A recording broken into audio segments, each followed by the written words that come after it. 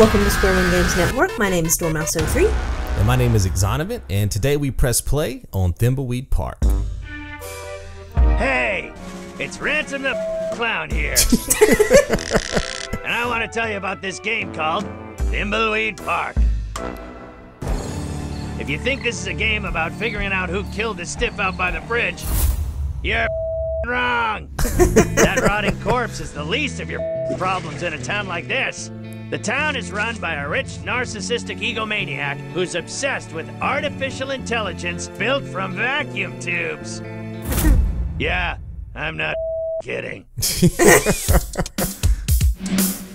Before I was cursed by this old lady, I was rich, famous, and at the top of my game, doing sellout shows every night.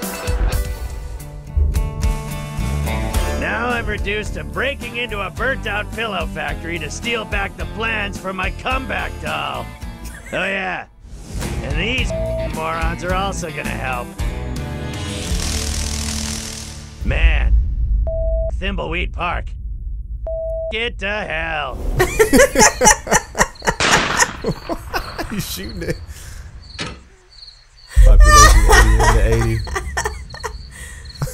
a dead body is the least of your problems. problems. Yeah, this looks funny. Yeah, dude. It looks That looks freaking funny. hilarious, man. Yep. Yep. Definitely. Like I, I have.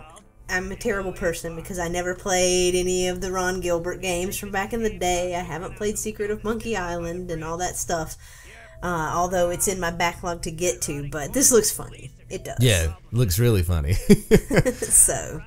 And a lot of these games try to be humorous and they miss it. Like their punchlines fall flat. But this these punchlines were good. Yes. Like uh really good. I think my favorite was the end where it shoots the hole through the thing and the Population population, 81. goes down. Population 80, son. Uh huh. That is. Yep. Did you ever play Maniac Mansion? Did you ever play that? No. game? That's a good one if you can ever. That was made by LucasArts. And they're kind of hit or miss with their games, but um, I remember playing that game. This reminds me of that game a lot. Very cool. God, yeah, Maniac Mansion's bringing back memories right now in my brain. if you guys have played Maniac Mansion, leave it in the comments below. Some people haven't, but I think those who have will probably, you know, give it some a good review. It's a very good game. This is interesting though, man. Why why is it that I find this type of content so fascinating this year versus like the AAA stuff? Tell me why. Like, don't get me wrong, I'm still interested in the AAA stuff, but stuff like this just seems very appealing to me this year. AAA stuff just seems like it's gotten so. It's too big. You know, like there, there's too much scope, or they're trying to do too much with it, and sometimes I think that you just get burnt out on that stuff. That's like reaching to be this high art, whatever. Yeah.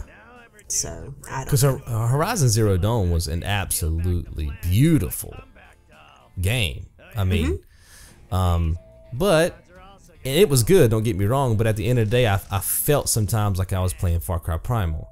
Like it felt very similar in some ways, right?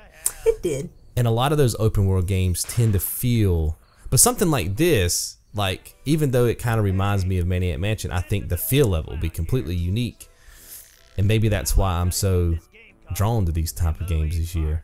I don't know.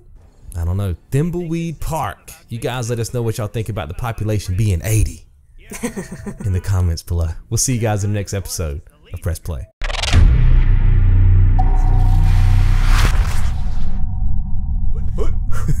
Go long, Hail Mary. Go long.